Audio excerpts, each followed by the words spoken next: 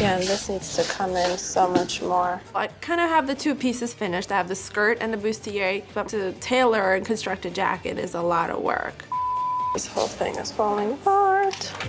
Let it out so I still have to put on the collar and make sure that I'm going to be able to finish it correctly. I think it works, Michael.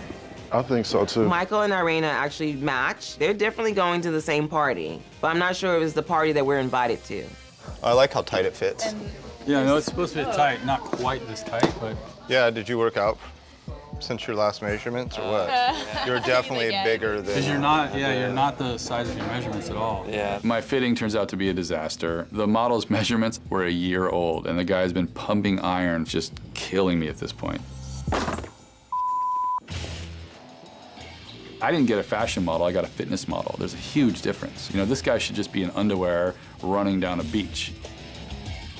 I mean, I know we're all under pressure, but I think you should be able to take anything that's thrown at you.